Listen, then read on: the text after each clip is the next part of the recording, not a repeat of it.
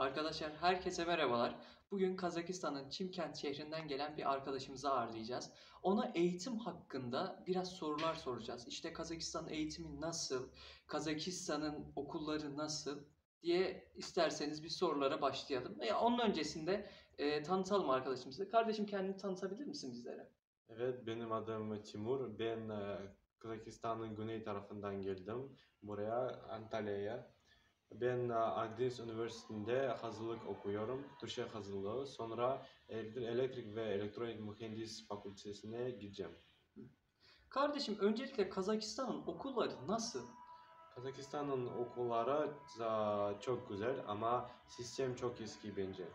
E, Türkiye'nin sistemi daha daha Daha güncel mi, daha çağdaş mı? ve daha güncel. Ha, çağdaş.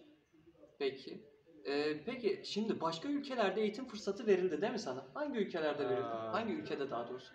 Aa, Bana Macaristan ve İtalya fırsat vermiyor, verdi Ha. aa, eğitim almak için. Ama ben Türkiye'yi seçtim. Peki neden Türkiye'yi seçtin?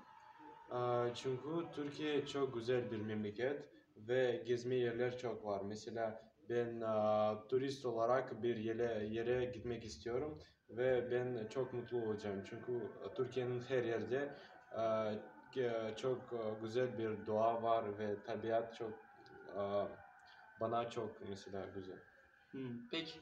Vermiş Yaşıyorum. olduğun cevaplar için çok teşekkür ediyoruz. Çok sağ ol. Sana eğitim yolunda başarılar dilerim. Çok sağ ol. Teşekkür ederim. Arkadaşlar bu video herhangi bir güzelleme niteliği taşımamaktadır.